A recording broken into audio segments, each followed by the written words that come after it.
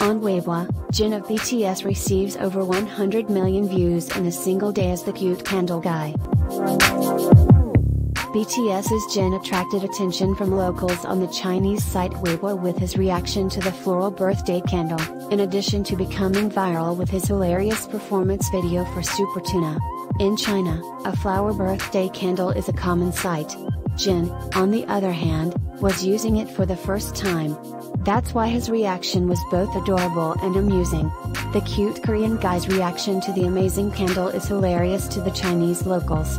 On Weibo, it is now trending at number 1.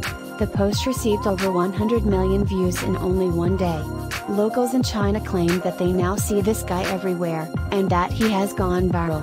Jin is referred to be a cute candle guy. Jin charms everyone's hearts with his innate sweetness, and the post currently has over 120 million views.